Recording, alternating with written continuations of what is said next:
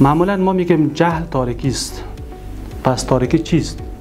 تاریکی را تعریف می‌کنه تاریکی در عدم یا در غیاب یک شی دیگر به وجود میاد مثلا ما میگیم تاریکی شب معمولا تاریکی شب در عدم یا در غیاب روشانی شکل می‌گیره اگر شما شمع را روشن بکنید یا بالاخره یک نور روشن بکنید تاریکی شب از میان میره.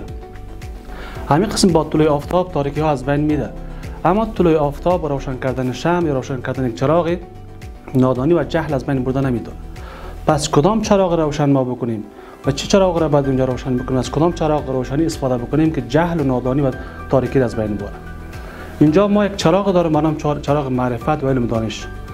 با افروختن و روشن کردن چراغ معرفت و علم دانش ما می‌تونیم تاریکی های جهل و نادانی از بین بریم. چیزی که امروز ما با اون نیازی اساسی داریم و نیاز مبرم جامعه ماست روشن کردن علم و دانش و چراغ علم و دانش است با استفاده از چراغ علم و دانش ما می‌تونیم تاریکه های جهل از بین بریم بر تاریکه های جهل, جهل و نادانی غالب شویم و بتانیم یک مسیر روشنی با خود تعیین بکنیم یک آینده روشنی داشته باشیم. ملی باستاب اعتبار ملی